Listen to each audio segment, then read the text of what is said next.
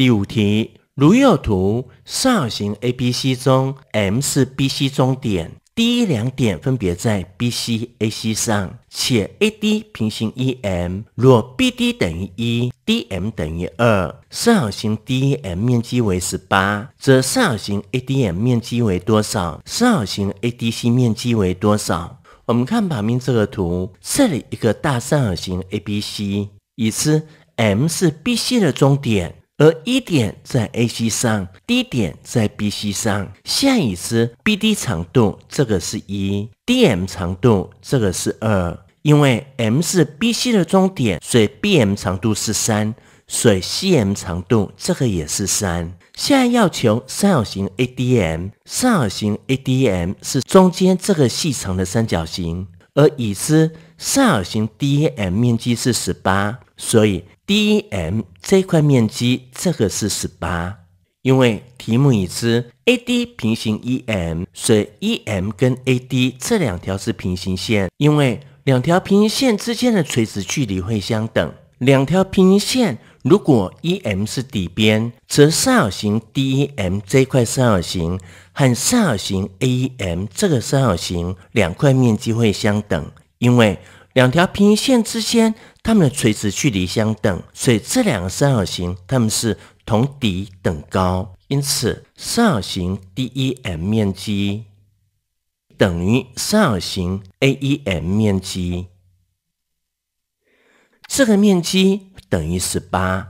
而因为 DE 平行 AD，所以我们利用平行线截比例线段，于是 AE 比 CE。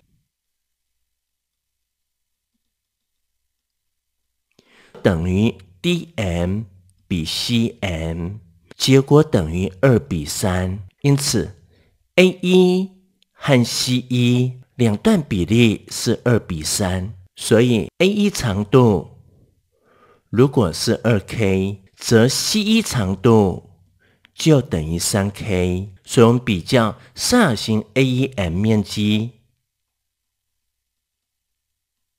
比三角形 CEM 面积，两个三角形因为它们有共同的顶点，所以它们会有共同的高。我们过 M 点，我们做垂直线。假设这个垂直距离，如果这个是 H1，于是三角形 AEM 它的面积是二分之一乘以 A1 是底边，所以乘以二 k 乘以 H1 比上。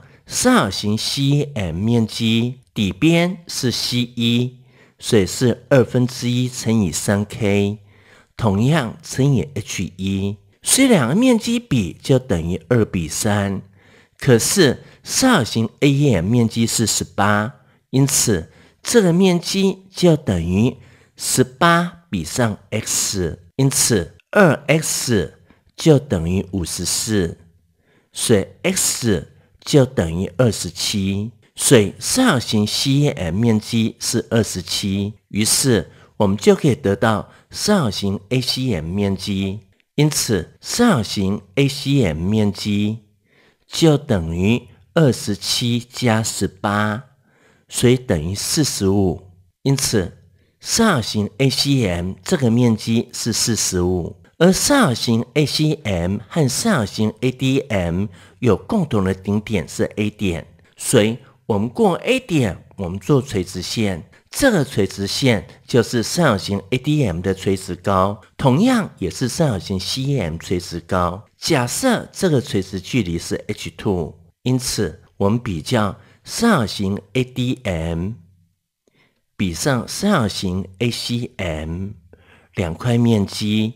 于是，三角形 ADM 底边是 DM，因为 DM 长度是二，所以二分之一乘以二乘上垂直高度是 h 二，这是 ADM 的面积。比上三角形 ACM，因为 CM 长度是三，所以二分之一乘以三乘以 h 二。我们把二分之一约掉，把 h 二约掉，等于二比三。可是，如果三角形 ADM 这面积是 y，而三角形 ACM 面积是四十五，因此二比三就等于 y 比四十五，结果三 y 就等于九十，因此 y 就等于三十，而 y 就是三角形 ADM，因此 ADM 面积这个是三十，而三角形 ADC，ADC 是整个大三角形，所以三角形 ADC 的面积。